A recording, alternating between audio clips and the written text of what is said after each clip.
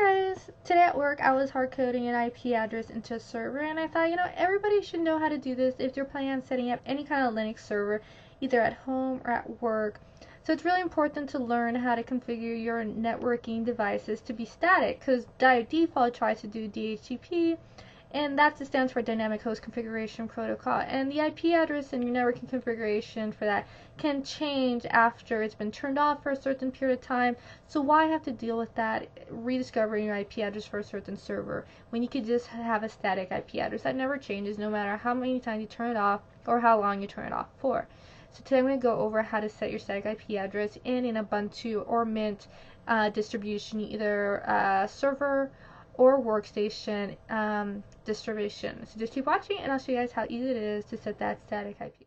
The first thing I want to do is take a look at the current IP address, which is 10.0.2.15. Now I'm going to want to set that to a static IP address. So I'm going to go into Super User Access and edit my ETC network interface file.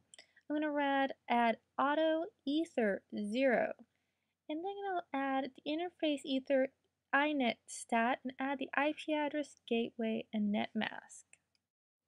Once I am done editing the interface file, I'm going to go ahead and shut down my network card using ifconfig ether down with super user access.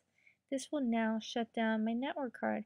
Now to start up my network card once again, I'm going to do sudo service networking start.